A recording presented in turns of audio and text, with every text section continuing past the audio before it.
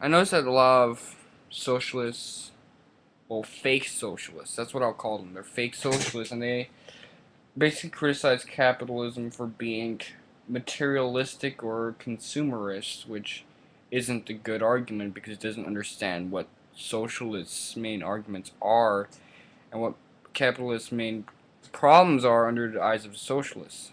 The capitalists' main faults the fact that people who are socialists view capitalism as the structure, not even just socialists, just anti-capitalists. They see it as a structure of consolidation.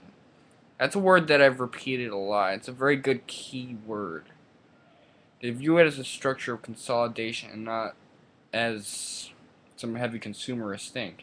You see, the socialists usually don't have problems with the rich. They have problems with those who have wealth.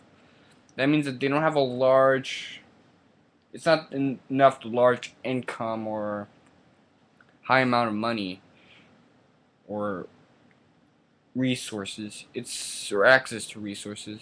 It's how you can consolidate, how you can keep people weak, essentially, around you. And if you view it this way, then you can argue that socialists view capitalism as something that isn't naturally Darwinistic as people make it seem to be.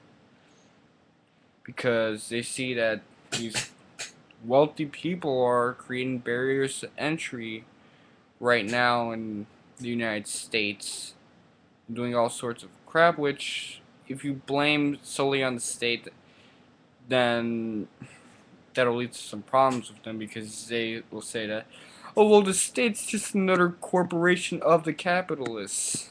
And they'll get into all sorts of mumbo jumbo. What's the main point?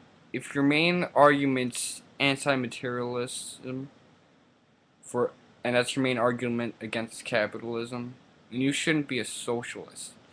Because if my main argument against the state was that I'm anti-conformist conformity,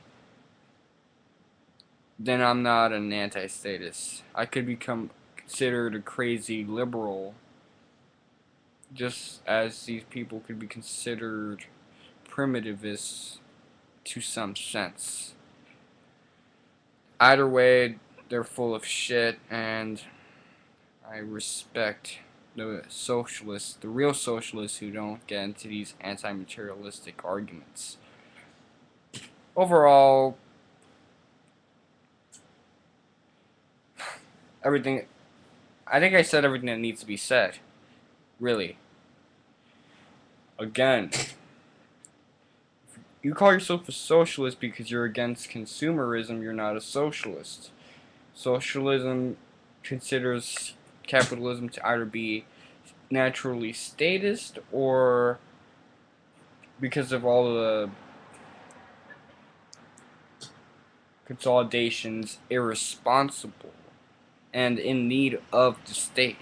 So it's one or the other. It has to do with the consolidations. It doesn't have to do with consumerism.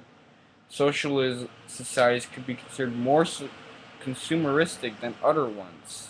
So I don't understand what the fuck that argument comes from. Alright, this is like four minutes. I'll end it here.